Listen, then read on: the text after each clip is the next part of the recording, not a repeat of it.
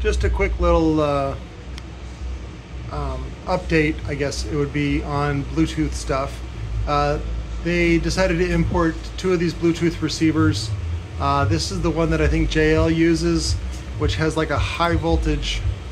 They wanted a really high voltage. Uh, there's more than one in stock, so I think there's like probably 30, like a box of 30.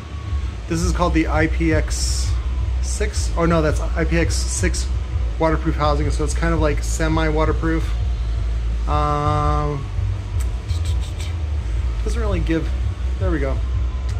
Output is two volts, which is quite a bit, uh, and the frequency range is all the way from 18 hertz to uh, 25 kilohertz, uh, and then it uses a two amp mini ATC fuse, and then it shows a couple of different uh, things. Again, you can look at. I'll put links in the description for this stuff.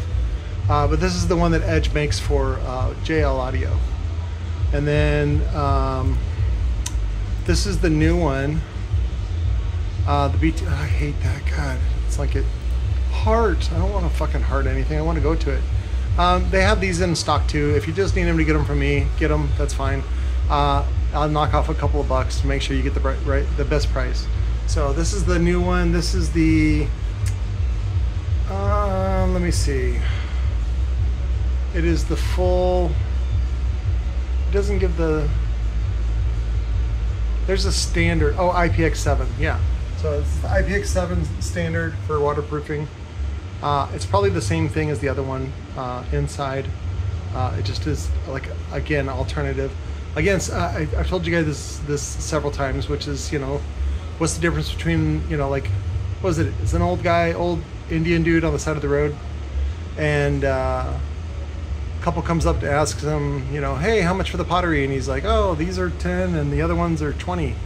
And she's like, what's the difference between the $10 ones and the $20 ones? And the old Indian says, some people like to buy $10 ones, some people like to buy $20 ones. So there's no difference in performance. This one's just, I guess, different styling maybe.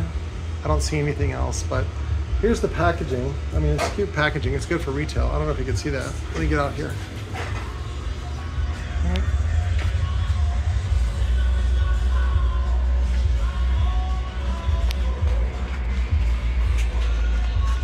See, it's, hopefully it's still recording.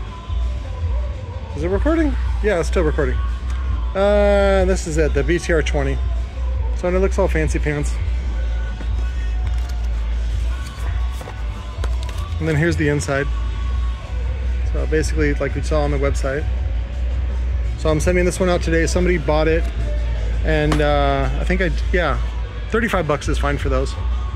But more stuff to come. Uh, I picked up uh, the new Echo Pro series components I, I need to do here real quick, but Tommy called and he's my mechanic, so I gotta get back to him real quick.